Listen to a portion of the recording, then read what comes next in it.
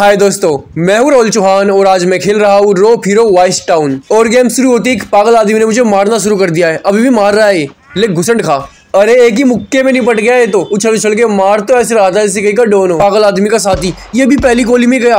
अरे, क्या हो रहा है ये? या मैं ही इतना ताकतवर हो चुका हूँ कि अब टट पूंजिया लोग मेरा कुछ नहीं उखाड़ सकते। तो गेम फाइनली शुरू हो चुका है और मैं आ चुका हूँ इस शहर में। देखते हैं यहाँ पे करने को क्या क्या है। अरे आजा मेरे पास आजा मुझे तेरी मदद चाहिए। ये मैं नहीं, एक चोर जैसी शकल का काला आदमी बोल रहा था मुझे। पता नहीं मुझे पास बुला के करना क्या चाहता है वो। अरे हाँ मेरे कपड़े अजीब से पहन रहे हैं तो पता नहीं मुझे क्या समझ रहा होगा वो। ऐसा वैसा तो मैं कुछ नहीं करने वाला, उसके अरमानों में पानी फेंक दूँगा। ले, आ गया पूरा पास। स्कूल के गुंडे युवाओं को तंग कर रहे हैं। वो मेरी बात नहीं सुनते। अबे क्यों सुनेगा तेरी बात वो? तू है कौन? किस चीज़, किस खेत की मूली है तू? शकल देखी अपनी? तो ये मुझसे कह रहा है कि तुम जाके बात कर गाओ उनसे। तो चलो, हम भी देखते हैं कि कैसे गुंडे आ रहे हैं यहाँ स्कूल में। कहाँ गए गुंडे, लगता है अरे आ गया। अरे बेवकूफ़, तुझे क्या चाहिए? मैं तुझे लेने आया। मैं तेरे अंदर तमीज, इज़्ज़त और संस्कार डालने आया हूँ। कोशिश करके देख ले। तो अभी चाटा मार के मुझे इसकी बुद्धि सुझा देनी है। और अबे एक ही में गया ये तो। मुझे तो बुरा लग रहा है, इसके लिए शकल देख के लग रहा था, इसने मच्छर भी नहीं मारा होगा। और किन लोगों को तंग करता हुआ अपने नन्हे नन्हे हाथों से? अब ऐसे गोली किसने दी? किसी की चुरा लिया, उठा ली। गोलियों से नहीं खेलते बच्चे, नहीं खेलते गोलियों से। चोट चाट लग जाएगी। मुझे लग जाएगी, क्योंकि तुम मुझ पर चला रहे हो ना। और ये भी निपट गया। अब बारी उस तीसरे वाले की। अभी भी गोली चला रहा, शर्म नहीं आ रही इसको? कि शांति से जुत्ते साफ़ करने दे मुझे। अब ले, अब तू भी मज़ा चख। ले ले ले ले ले ले ले। ले और ये ले हेड शॉट और इसका भी खेल खत्म। ले, अब तुझसे करूँगा जुत्ते साफ़। अरे काले, तू फिर आ गया। अबे, धरती में मिला दिया मैंने उसको। थोड़ा तो रहम खा, बच्चों पे दरिंदे। और इसी के साथ मेरा पहला मिशन कंप्लीट हो चुका है, और मुझे मिल चुके हैं पाँच हज़ार रुपये इस गेम के। अभी बचे हुए पॉइंट्स का चाहिए हेल्थ रीजनरेशन चल बे कोई बढ़िया सा काम दे मुझे वरना कट्टा देख रहा है ना हाथ में। कितना झूठ बोलेगा कालिए। दांत पे कोई आर्मर कैसे पहन लेगा? बड़ी बंदूक का इंतज़ाम तो हो जाएगा। तो इससे पहले मैं इस बड़ी बंदूक का इंतज़ाम करता गेम वालों ने मुझे खुद ही इस बंदूक को दिला दिया। तो ये टिप का बिट्टा मुझसे बोल रहा था कि ड्रग डील होने वाली है सीधा सीधा इसने मुझे कुछ अनजान लोगों पे नज़र रखने के लिए कह दिया। अब इस साइड वाली कार बहुत मस्त लग रही है। आर्मी टाइप वाइब्स आ रही है पर वो टिप्सन बोल रहा था कि उसी की कार में मुझे जाना है। क्योंकि इसमें वो लगा रखा है जीपीएस ताकि आसानी हो मुझे। क्योंकि मैं नन्ना मुन्ना आई हूँ और नए शहर में मैं रास्ता भटक सकता हूँ। पर एक ना एक दिन मैं वो कार ज़रूर छीन लूँगा। बढ़िया कार थी। बिल्कुल। तो मैं आ गया डील वाली जगह पे और यहाँ पे मैं बैंगनी कार के पास ज़्यादा ही चला गया हूँ। अब सही है, बिल्कुल। और यहाँ पे पुलिस की कार क्या कर रही है? शायद ये पुलिस वाले भी अपना हिस्सा मांगने आए होंगे। मुझे कार से उतरने को बोल रहा है और खुद नहीं उतरने का है। ध्यान रखना, उनके पास हथियार हो सकते हैं। अरे वाह, बहुत बड़ी बात बता दी इसने तो। बहुत मदद कर दी मेरी। जैसी ये तो हमें पता ही नहीं था। ये हुई ना बात। तो उसने मुझसे कहा कि इनको धरती में लाने के बाद इनका सब कुछ छीन लियो। ले बंदूक खा। और मैंने पूरी गोलियाँ भर दी। अरे मर नहीं रही ये तो। दुद्धू पी गया है क्या? पहला गया, पहला आदमी गया, पहला गया। ये काला, ये तगड़ा लग रहा। अरे बल्ले से मार रहा। अरे क्या समझ रहा है अपने आपको इतना लालची इंसान था काला की बल्ले से मुझे मारने लगा और खुद ही मर गया। क्योंकि मेरे पास बंदूक थी, अब बल्ला कौन खरीदता? वरना मैं इसकी मर्दों वाली खानदानी फाइट में ही पूरी तबाही मचा देता। तो इन सबको तो मैंने निपटा दिया है, पर अब जाना कहाँ है? और यहाँ नीचे आ तो रहा है, टिप्सन के पास जाना है शायद तो मैं पुलिस की कार में बैठ के जाऊँगा। अब उसकी खिलौना कार में तो नहीं बैठना। अगर उसको कार इतनी प्यारी होगी, खुद कभी आके ले जाएगा इसको। तो पुलिस की कार में तो मैं बैठ गया, पर कहीं पुलिस वाले इस कार को चलाता देख मेरे पीछे न पड़ जाए। कि कहाँ से उठा लिया इसको? क्योंकि मेरे करेक्टर को कपड़े ऐसे दिए गए हैं कि वो शकल से ही चोट लगता है। इतने अजीब कपड़े कौन पहनता है आज की दुनिया में? चाहे पहनते भी हो कुछ अजीब लोग, पर मुझे नहीं पहनने। कपड़े वपड़े बदलने का फीचर होता है इस गेम में तो मज़ा आ जाता। तो जल्दी से काले से बात करके हिस्सा माँगता हूँ, इससे पहले इसका मन बदल जाए। लेते तेरा नाम। ये इतना जल्दी पैसे कैसे दे दिया? तो आज मुझे यकीन हो चुका है कि धरती पे कुछ भी हो सकता है। एक चोर वाली शकल के आदमी ने मुझे पैसे दे दिए। फिर भी इसके मिशन कोई क्यों नहीं करता? अरे, ऊपर क्या काउंट डाउन चल रहा है? चोर भी गाड़ियों में घूमते हैं क्या? मैंने तो मिशन स्टार्ट भी नहीं किया। मुझे पचास सेकंड से कम वक्त में चोर ढूंढना है। अरे, काले, अपनी बिरादरी के बारे में बता दे एक दो। चुपके से सारा कर दे कि कौन चोर है। मैं समझ जाऊँगा। और ऐसी खल्ली खड़े खड़े तू देश का भला भी कर देगा। उस काले ने इसकी तरफ़ देख के आँख हमारी थी। मुझे लग रहा है पक्का चोर है इसके अंदर। पक्का चोर है। और ये जल्दी से वैन के आगे मैं खड़ा हो चुका हूँ। अभी खोलते हैं इसका गेट और यहाँ पे है हरा आदमी। क्या हुआ भाई साहब? कोई आपके ऊपर हरा रंग डालकर भाग गया क्या?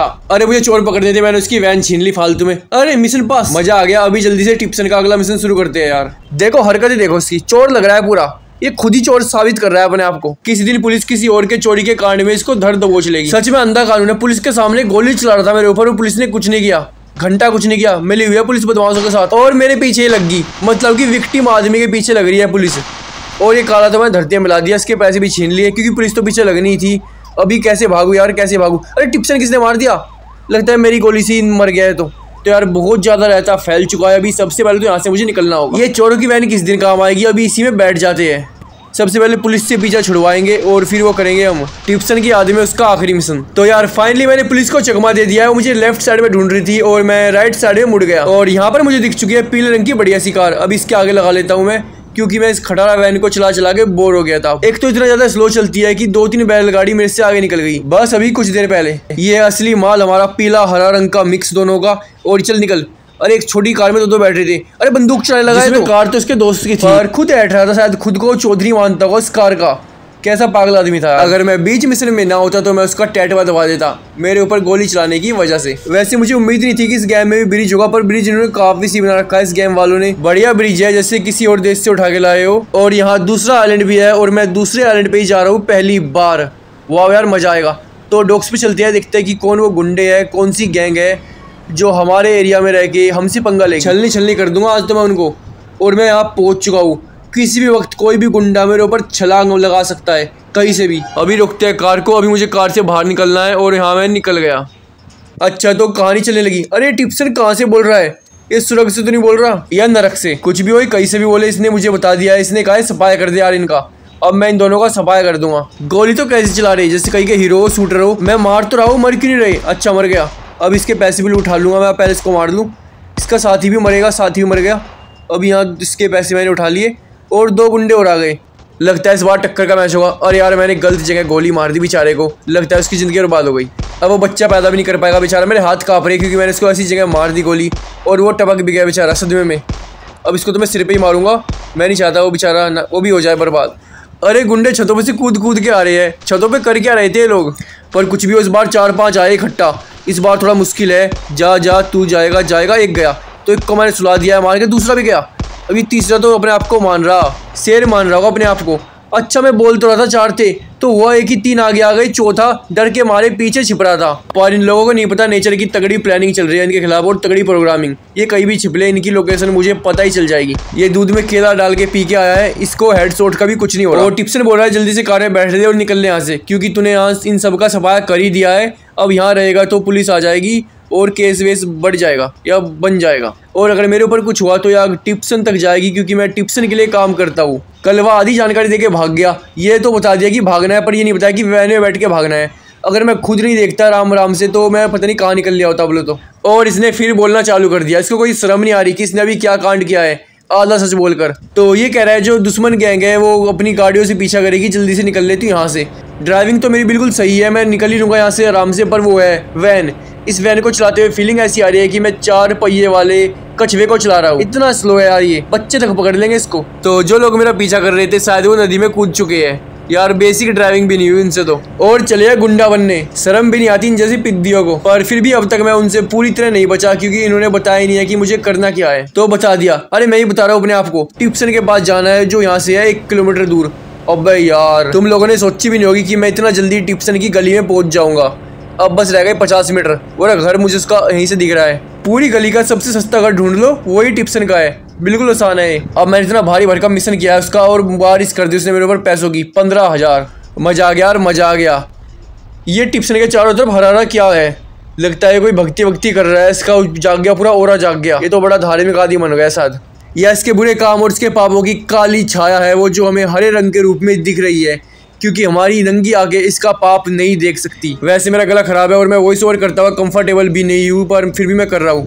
बस ऐसे ही। और यहाँ पे मैं अभी इसकी बुलेट छीनूँगा। यार, मैंने बहुत दिनों से बुलेट नहीं चलाई। ये बुलेट ही है कोई और बाइक है? मुझे बाइक की बिल्कुल भी नॉलेज नहीं है, पर जो भी वो मस्त लग रही है। और ये पुलिस कहाँ से आ गई? यार, ये तो ऐसा लग रहा है कि पुलिस ताक में बैठी रहती है, कि कोई ना कोई आएगा, कुछ चुराएगा, गैल आ जाती है। तुरंत के तुरंत छाती पे चढ़ जाती है बिल्कुल गलत है। बहुत सारे पैमानों पे। ऐसा कैसे हो सकता है? ऐसा नहीं हो सकता। कुछ वक्त देना चाहिए कि चोर वोर भाग जाए, फिर बाद में एक दो घंटे बाद आने चाहिए। तो सच्ची भी लगेगा कि सच्ची पुलिस आ रही है। ये तो एलियंस की तरह टपक पड़ते हैं। कुछ भी कांड कर दो, तुरंत आ जाएँगे एलियंस की तरह। जैसे आसमान से टपक रहे हैं। तो दोस्तों रो फिर वॉइस टाउन में आज के लिए बस इतना ही। उम्मीद है आपको वीडियो अच्छा लगा होगा और अगर लगा है तो चैनल को सब्सक्राइब कर देना और वीडियो को लाइक कर देना। मिलते हैं आपसे अगले एपिसोड में, तब तक के लिए गुड बाय आपसे अपना ध्यान रखना।